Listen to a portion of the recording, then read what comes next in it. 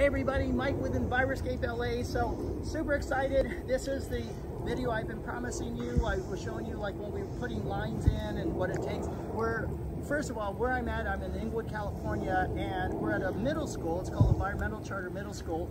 And um, last week we did a video to show we have a big machine that actually creates a trench so that we could lay our, our pipe. And so the goal was to lay pipe so that we could eventually get uh, what's happening here. So these are called microsprays. This is the end result.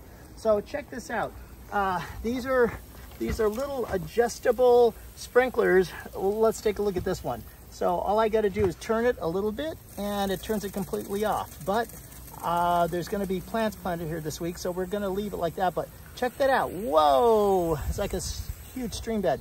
Well, we're just going to, there we go, just like that. So they're going to put that. So imagine this. Now, before they didn't have irrigation here, it was all watered by hand. So they would put stuff, the lettuce and tomatoes and so on, uh, plant it now. But come summertime, when you're going to be harvesting, kids are off for summer school. So if nobody hand watered it, they'd come back in September, it was all dead. So to avoid that and to make sure everything got uh, irrigation so that nobody has to think about hand watering, we put installed these micro sprays. They're the perfect irrigation system. So we did them here. It looks like this box actually got uh, planted already. You can see here it's got the, the kale and uh, some fava beans and, and so on, uh, and some squash. So this is a really cool idea. Now we left these as full heads because we wanted this uh, grapevine to get covered. So you can see here, this is gonna get some coverage.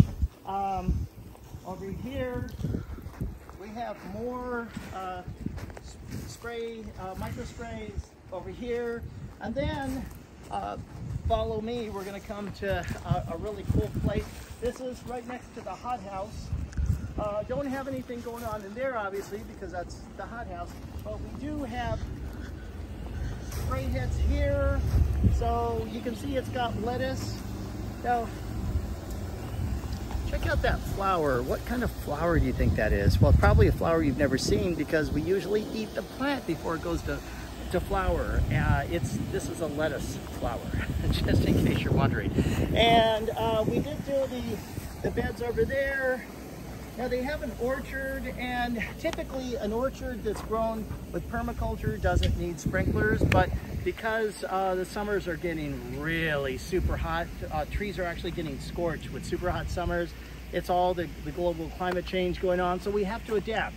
So in this case, we're actually it's installing sprinklers here. We're here we have a, a, machine that actually made the, this created this big divot here.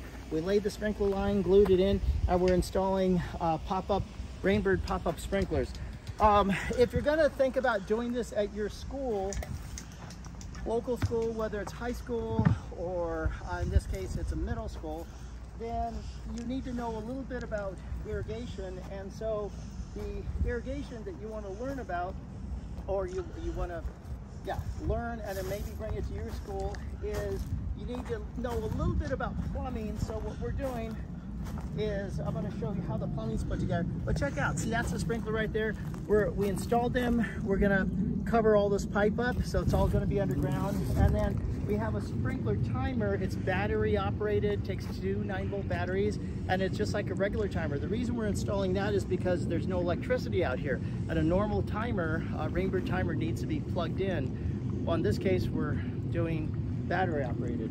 And then we have the copper line that we tapped off of, and that's where we ran all the irrigation off of. Anyway, thanks for joining me, Mike with Enviroscape LA. When you think sustainability and permaculture and irrigation for your school gardens, think Enviroscape LA. Take care.